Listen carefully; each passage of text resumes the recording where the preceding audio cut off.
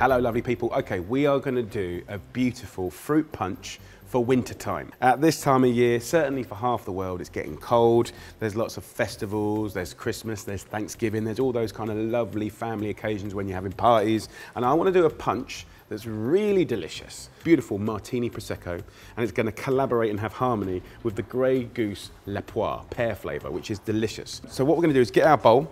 This is a lovely heat-proof glass bowl, but you can use any bowl you get your hand on. Bring some water to the boil. I want to use about five cloves. Come and have a look at this. Classic wintry flavours. Half a stick of cinnamon goes in. Just one or two little bits of orange zest. Little star anise going in as well. We're going to go in with about 300 mils of boiling water. That's about a kind of big mug's worth. I've got fresh blackberries here, kind of the end of autumn fruit. We're going to go in with about two punnets of blackberries. Of course, you can use the same in frozen if that's what you've got. Just a couple of pears sliced up like that. So what we're going to do here, guys, is we'll use the boiling water to really infuse, almost like a tea, the flavour out of the spices and that little bit of zest. And then we go in with the fruit, and there's enough heat there to sort of start breaking down, you know, the structure of the fruit to release the more kind of jammy flavours instead of just fresh flavours. We'll let that just sit for a couple of minutes, then just mix it up, and then we're going to go straight away to cold. So I don't want any of this alcohol hitting anything hot, okay? So we're going to hit this up with lots of ice. So it's about half full just like that. And then we're going to go in with 300 milliliters of vodka. This is the La Poire Grey Goose. Delicious, really, really nice. Certainly, if you've never tried it before, it's a nice change. So 300 mils goes in here. This is for 10 people, by the way, guys. This is the Martini Prosecco.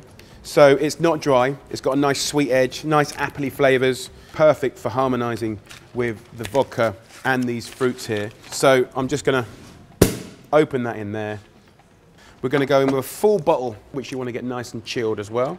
This is definitely a little bit different for this time of year. Just move it around. So give that a nice, gentle mix up and serve it straight away, guys. You don't want it to over dilute, but it's very refreshing. And if you want to put a few bits of the garnish in, of course you can. Put a little blackberry in there.